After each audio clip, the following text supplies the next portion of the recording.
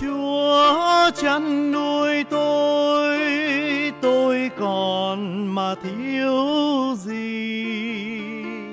Chúa bảo vệ tôi, lẽ nào tôi còn sợ chi, còn sợ ai?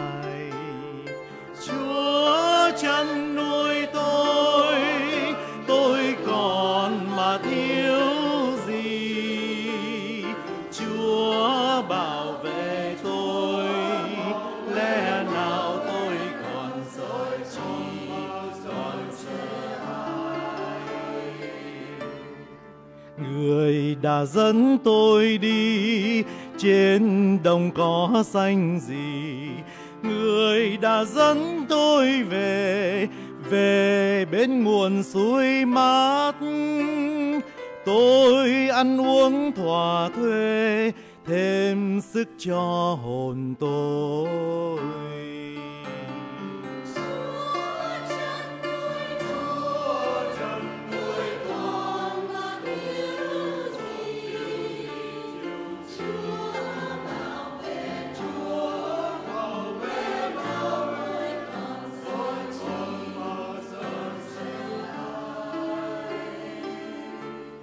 Nẻo đường chính tôi theo, cây gậy chúa dân đường. Dù vượt suối qua đồi, hoặc qua ngàn tầm tôi tôi đâu có sợ chi vì chúa ở cùng tôi.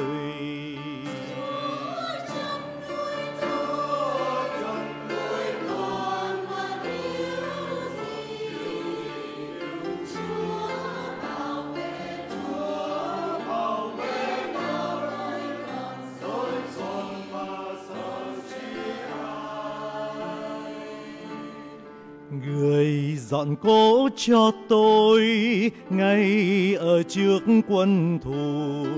Người đã sức trên đầu, dầu thơm người lai lắng tôi vui sướng thành thơi vì chúa thương hồn tôi.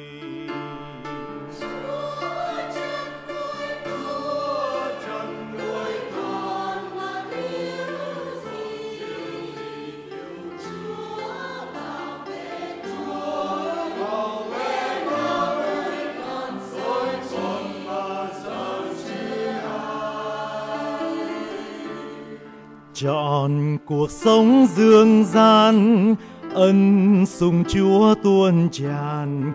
Người là chúa nhân từ, hằng thương người công chính. Tôi vui sướng thành thơi, êm ái thay nhà người.